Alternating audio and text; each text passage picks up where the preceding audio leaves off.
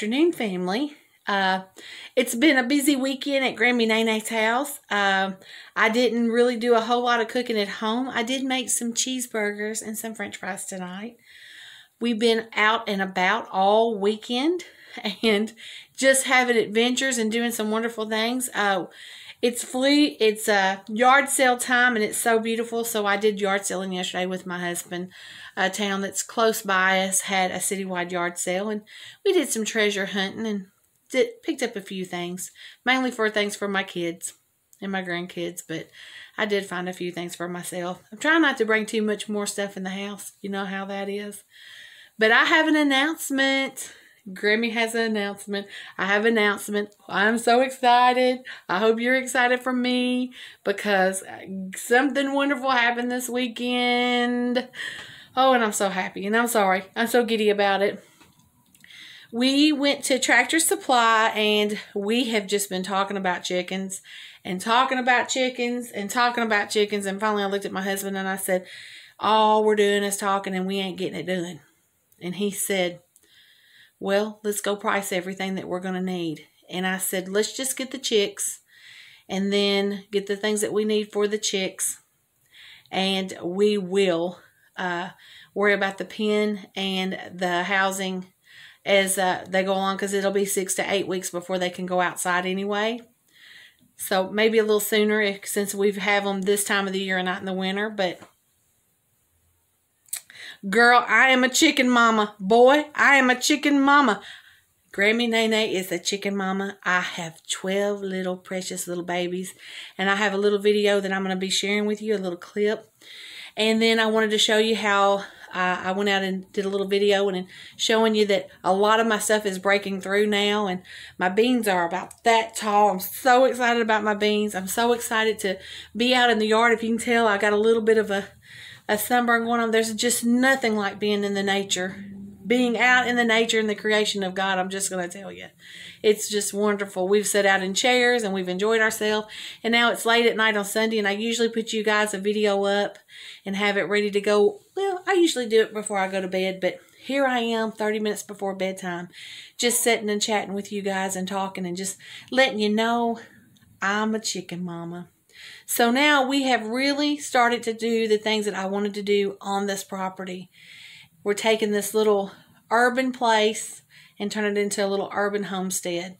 So now we have chickens for eggs and uh, we have raised gardens and um, we're just planning on adding more and more. We looked at some swimming pools today, little kiddie pools, and we're thinking about trying to grow some corn and maybe have another one that we grow some watermelon in. We don't know. We're experimenting and we're having a good time. We uh, bought some uh, bushes and some trees from uh, the Arbor Foundation, and they came in finally. And uh, they're about this big. I'm praying that my husband does not run them over with the lawnmower because my husband is like cowabunga, dude, when he's on that lawnmower. He's just going. He got a zero turn. It's his first brand new riding mower.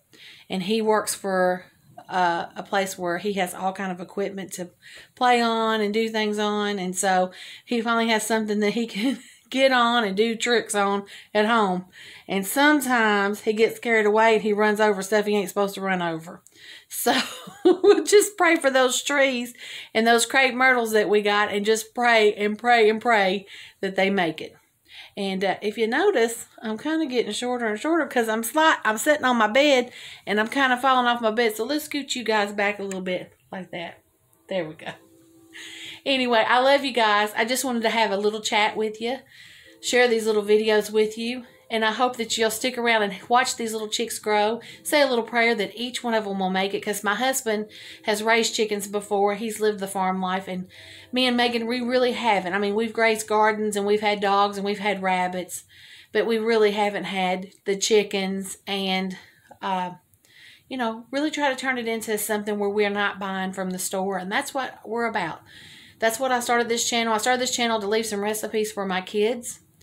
Uh, bring some encouragement, bring some happiness, some joy, meet some new people, have some adventures, do something every week that's new and exciting. And uh, I think chickens, baby chicks, and they're just precious. And we got uh, six different breeds and two of each one. And my husband keeps saying, don't be sad if they don't all make it. He said, because sometimes you lose some of them. And I understand that. But I've done grown to love each and every one of them. We had a little bit of problems with Pasty Butt from a couple of them. Just the stress of taking them from the store and bringing them home and getting them set up. So I had to take cotton balls and warm water and clean them all up tonight like they was my little chillins, which they are. and get them all happy. And I had to buy some some stuff to put in their water and and you know some feed and I don't know they're just precious and I can't wait for them to get big and see what they look like and see their personalities and we were going to make sure that we got all pullets so that we didn't have any females but I will tell you at the last minute we we chose two of the fryer breeds that were not sexed. So we might possibly have a rooster and I don't know how my neighbors are going to feel about that but hopefully he's a good rooster. he's not mean. Because some roosters can be really gentle and really nice. And we're going to try to handle him a lot so that he's not, he's kind of docile. He's, he don't get in a lot of trouble.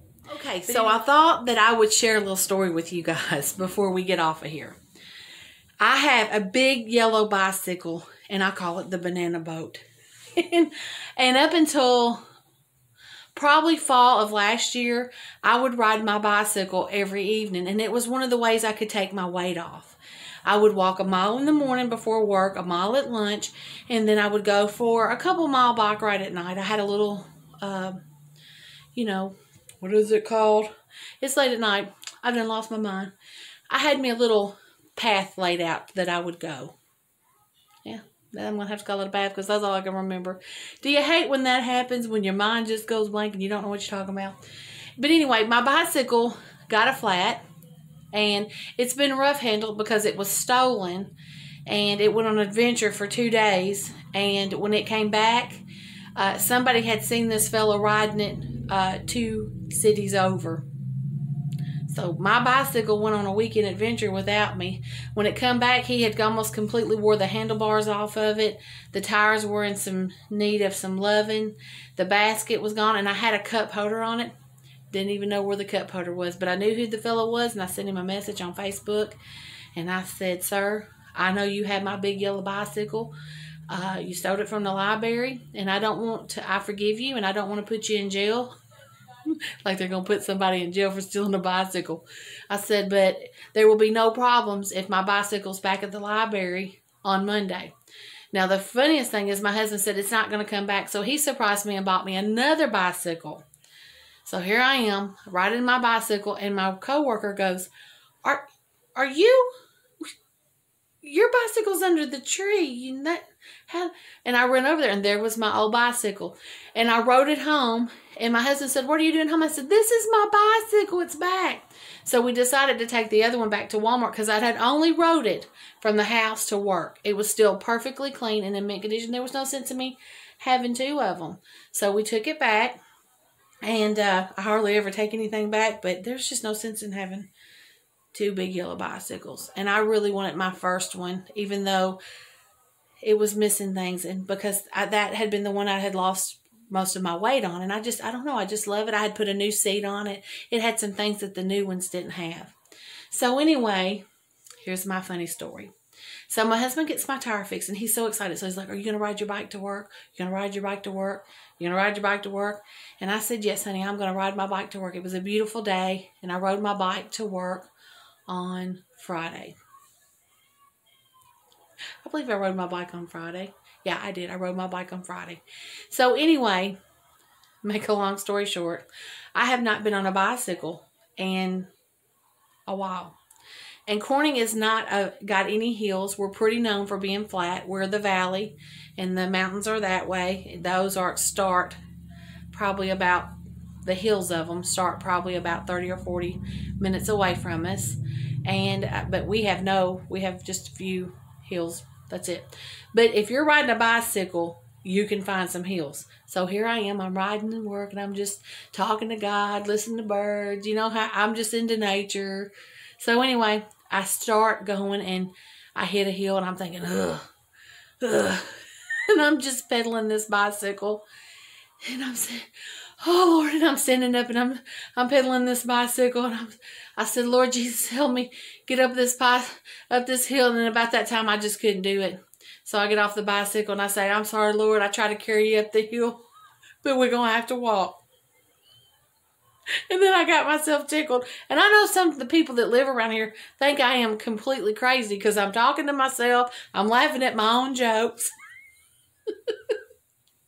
But you know, you just got to be a happy person and you just got to get some happiness out there and some joy. And if people think you're crazy, then so be it. But at least you're happy being crazy. I just had to share that with you. Woo wee. I did not ride that bicycle home because what happened is my husband came by. He was off. He's on a six day stretch. So anyway, he come by and I said, I couldn't hardly ride that bicycle. It took everything I had to pedal it. And that was one of the things I love about my bicycle. It's a cruiser. It's like riding a Cadillac of bicycles. It's just he went out there and looked at it. He said, Well, honey, I got your front tire fixed, but your back tire was flat. That's why I, that's why I couldn't pedal it, because the back tire was have you ever tried to pedal a bike that's got a low tire or a flat tire? It's like it's like trying to ride it through the through an ocean water or a river. The resistance is crazy. So, but anyway, I thought I'd share that with y'all. So I couldn't get Jesus up the hill. had to get him off. but anyway, y'all have a blessed. I'm praying for you guys. I'll be back on for a Wednesday encouragement. That will be my next video. I'm so glad I'm back. I'm so glad I'm able to use these hands and work in the garden. And I've got a couple more bags. I was going to add this. A couple more bags coming in from uh, Amazon. And these are potato bags. And you can lift up the side, see the potatoes. And I'm thinking about planting some onions and potatoes in there. I know some people already have their potatoes growing. I, I'm experimenting. So uh, I want to see how these things do. I've got to get me something to grow some garlic in later on. And like I said, we want to do some watermelon and uh, some corn. Because, you know, you got to have corn and everything. Corn goes good in soup. Corn goes good with everything. Mm-hmm. Got to have some corn. And I would love to grow me a homemade watermelon. A homegrown, not a homemade, but homegrown watermelon. But anyway, you want guys have a wonderful, blessed week. I'll see you on Wednesday Encouragement. Enjoy these little videos of these brand new little beings to our farm, our urban farm. I, I told my husband, I said, we are trick chicken farmers now.